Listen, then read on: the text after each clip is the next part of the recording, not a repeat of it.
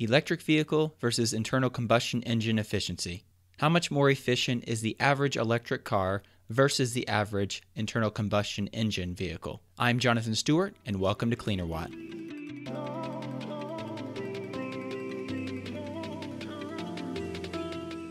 In this video, we're going to break down the data from fueleconomy.gov and see just how much more efficient an electric vehicle is than an internal combustion engine, as well as diving into various interesting comparisons. So, as we move into this topic, I think it's important to talk about the energy density of gas versus a battery. The average weight of a gallon of gas is somewhere around six pounds. Of course, that weight varies slightly based on temperature, but an average six pounds per gallon of gas or for every 3.79 liters. According to fueleconomy.gov, a gallon of gas has about 33.7 kilowatt hours of stored energy.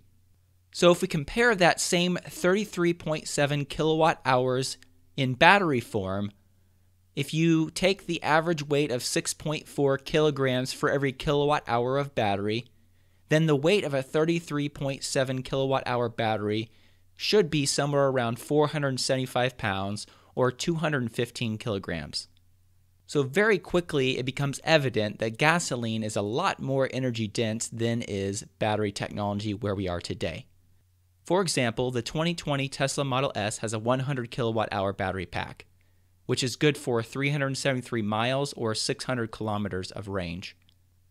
So, the gasoline equivalent of 100 kilowatt hours of battery pack in a Tesla Model S would be around 3 gallons of gas or just over 11 liters of fuel.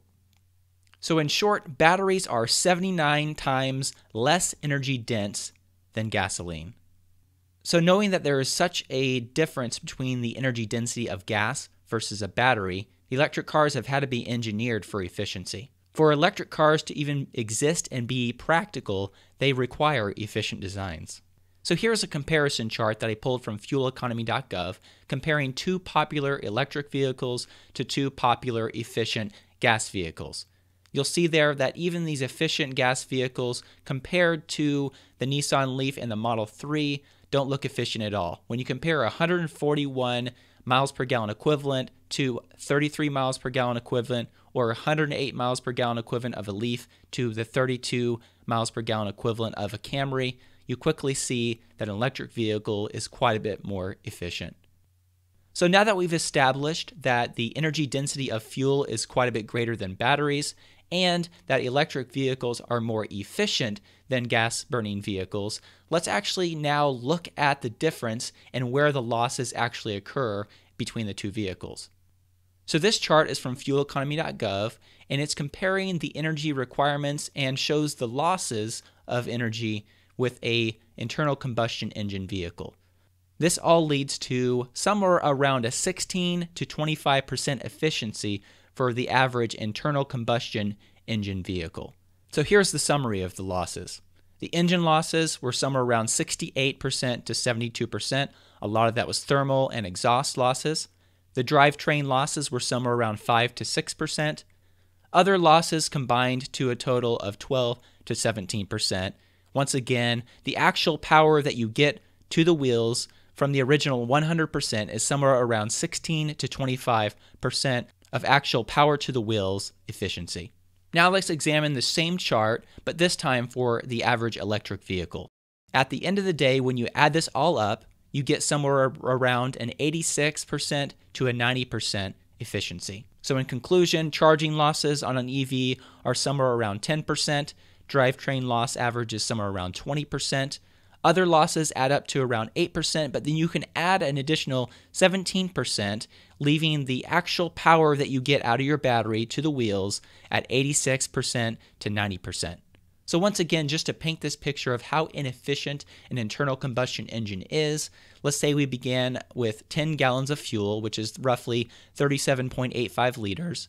That's the equivalent of 337 kilowatt hours of energy in that fuel. If you take the 337 kilowatt hours of energy and you multiply that by a 25% efficiency, you get somewhere around 84.25 kilowatt hours of battery power actually going to the wheels. So, although gas is a lot more energy dense, because internal combustion engines are a lot less efficient, they end up consuming a lot more energy to go the same distance as an electric vehicle. Now, when it comes to electric vehicles, comparing one electric vehicle to another, currently right now, Tesla is the king of efficiency. The closest thing in efficiency is the 2020 Hyundai Ioniq EV, but when you look at the range of only 170 miles versus 250 miles, the Model 3 is not only more efficient, but it's more practical of a vehicle. I recently put up a video talking about Tesla's efficiency advantage, and I examined their efficiency versus other manufacturers, and they currently put out consistently the most efficient electric vehicles on the market. So, in conclusion, even though fossil fuels have a lot more energy density than do our current battery technologies, the efficiency of electric vehicles versus an internal combustion engine make up for that and make an electric vehicle a lot wiser use of energy. And it allows for an electric vehicle charged on a dirty grid, even powered by coal, to still be better for the environment than the average gas burning vehicle. Thank you so much for watching this video. I hope you learned something today. And if you're not yet subscribed to the channel, please consider subscribing. And if you do subscribe, if you click the bell icon, you'll be notified when new videos are put up. Also, if you like the video, please consider clicking the like button so that other people can find the video as well.